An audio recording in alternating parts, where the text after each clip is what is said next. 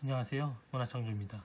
시스템 구축 방안 여덟 번째 플랫폼 시스템 보안 및 장애 대책에서 보안 대책에 대해서 말씀드리겠습니다. 시스템 보안을 위해 정책을 이미 미리 정한, 정하고요. 자연 재해, 또 기타 바이러스에 대한 대응책을 마련해 놓습니다. 보안이기 때문에 이 시스템이 외부에 유출되지 않게끔 뭐 컨텐츠를 어떻게 이렇게 관리한다든지 그래서 이 정책에 대한 부분 접근 권한도 들어가고 여러 정책이 들어가게 됩니다.